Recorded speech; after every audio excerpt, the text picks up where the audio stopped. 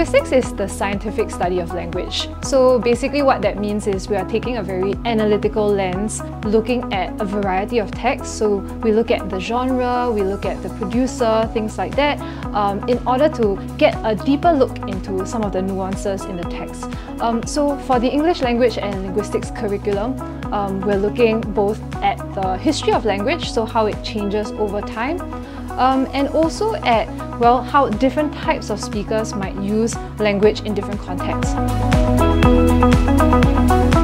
So the English language is very much alive and evolving um, and because of this, I think we find it very useful here at CJ to look at authentic texts. And our students really enjoy, you know, mulling over some of the, um, you know, real world concerns that they can find in some of these texts.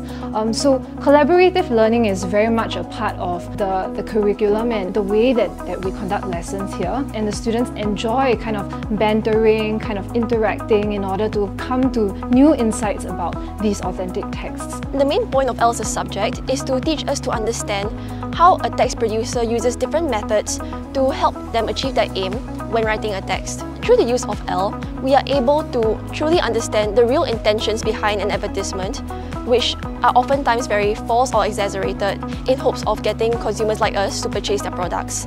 This helps us ELL students become less vulnerable to um, these false, uh, false advertisements and become more secure in society. From time to time, we also look at some of the deeper issues. So, you know, maybe certain people get discriminated against because of a certain accent.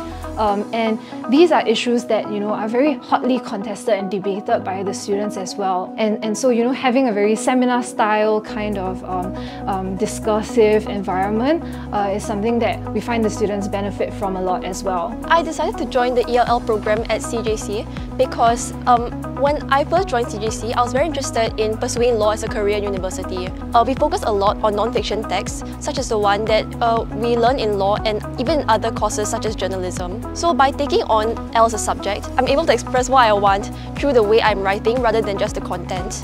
So we always like to have students who have a passion and penchant for the English language. Um, you know, they really have to uh, bring to the fore their uh, analytical, observational skills, um, you know, to, to really get into the heart of the text.